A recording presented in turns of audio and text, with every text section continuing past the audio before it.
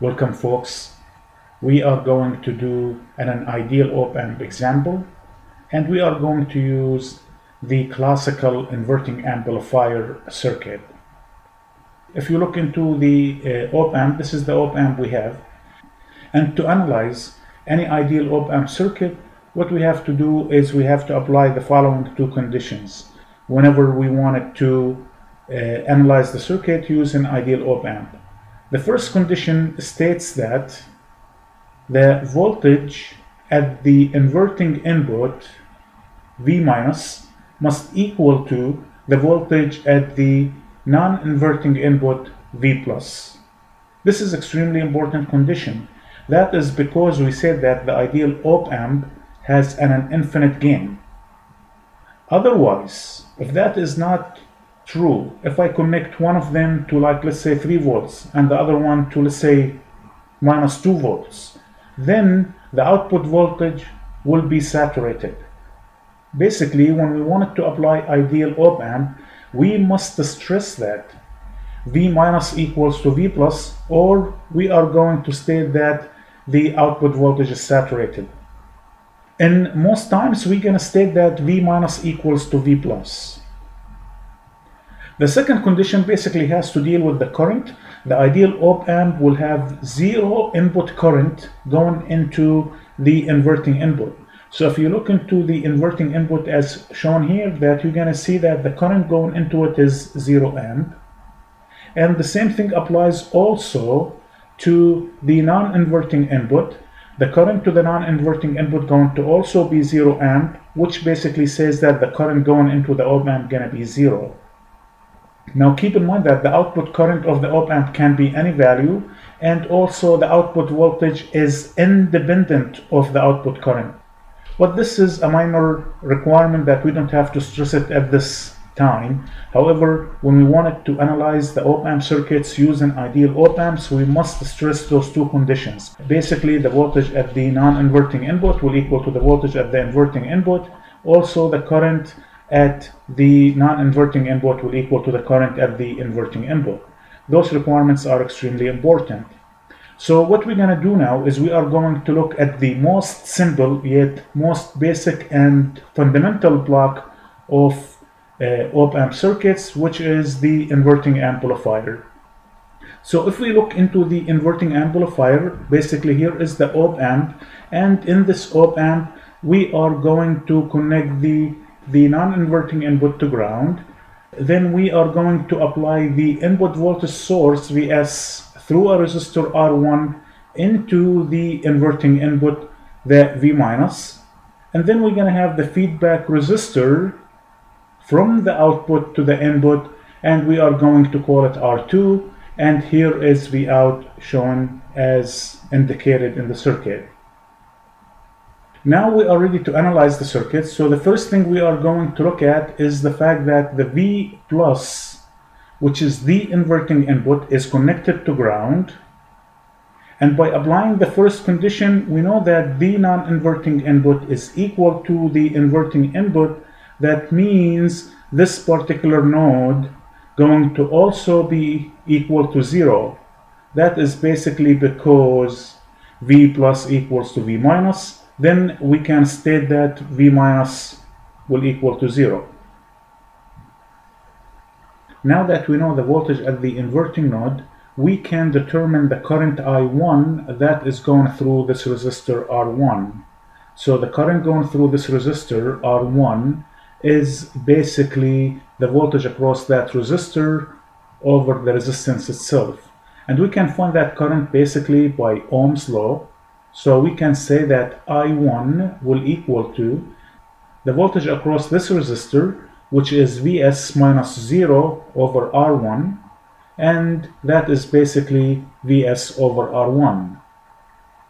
Also for I2 we can do the same thing. I2 is the current going through this second resistor R2 as shown here and we can find this current using also Ohm's law. So we can state that the current I2 will equal to the voltage across this resistor which is 0 minus V out over R2 which is basically minus V out over R2. Now we know that we can apply KCL at the inverting node, the V minus, and to apply the KCL at the inverting node, we need to know what's the currents going into the op-amp, but we know this op-amp is ideal, so we can say that the current going through the inverting input is zero, as well as the current going into the non-inverting input is also zero. Now by applying KCL, we can state that I2 will equal to I1 because the currents are equal. The current going in will equal to the current going out. So the current going out is I2 and the current going in is I1. We stated them to be equal, but I already solved for I2 to be negative V out over R2. So I'm going to state that here, negative V out over R2. And that is basically will equal to I1 which we already solved for to be Vs over R1. So we're going to say that negative V out over R2 will equal to Vs over R1. And now we can multiply both sides of the equation by negative R2. And what I will end up with is V out will equal to negative R2 over R1 times Vs. Now this is the equation that describes the output as a function of the input for the inverting amplifier. Very powerful equation and it's going to pop up a lot to us as we continue through the op-amp circuits.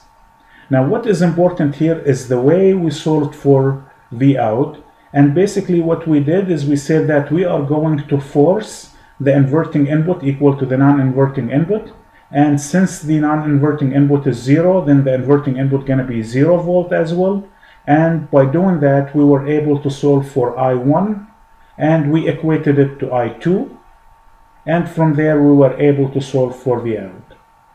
So now let's do a numerical example just to give you a hands-on experience of what's going on with the ideal op-amp. So we are going to design an inverting amplifier so that V out will equal to negative 20 times Vs. Basically, we are saying that the ratio of R2 over R1 must equal to 20. Now to choose those resistors, we have to be very careful because you want to make sure that when you design the op-amp, the op-amp is not ideal, but you want the op-amp to behave as ideal or near ideal by picking up the right values for the resistors. A very good uh, values for resistors will be to select R1 and R2 in the ranges anywhere between 1k to 100k. Those considered to be very good ranges, but you can go sometimes as low as 500 ohms and uh, as high as a couple of hundred of thousands of ohms, like 200k ohms uh, or so. And that also depends on the type of op amp that we are using. But uh, uh in this example here, we are uh, considering to use something we call general purpose op amps for example, the LM741 op amp will be considered to be general purpose op amp that we can use. Then we can say that our uh, resistor value going to be selected to be 1 kilo ohm resistance, which leads to R2 to be 20 kilo ohm resistance. In computer simulation like OrCAD PSpice, you can see that you're going to get a very good results of uh, a gain of uh, negative 20 which means that the output voltage will be negative 20 times the input voltage. So let's do that and let's run a computer simulation and show you how is the circuit going to look like.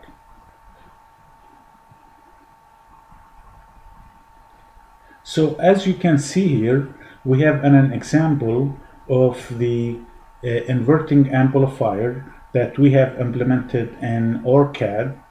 And you can see that we are applying a rectangular pulse signal at the input with a pulse width of uh, 5 milliseconds and the period of that pulse is 10 milliseconds and the value of the pulse gonna jump from 0 to 0.1 volts and then we are also applying a 1 kilo ohm resistance for R1 and 20 kilo ohm resistor for R2. Here we have a load resistor equal to 10k. Now it is worth mentioning that this 10k is not going to affect much the gain equation because we force in the current through R1 to equal to the current through R2 which forces V out to be 20 times V1. So RL here going to be irrelevant or independent of what's the gain of the amplifier as long as the op amp will be able to supply this resistor, the RL resistor with current. Beside that, this circuit gonna work fine. We did simulate the circuit, so let's go ahead and run the simulation and show you what we have. So you can see that this red line over here, that will read the uh, 0.1 volts peak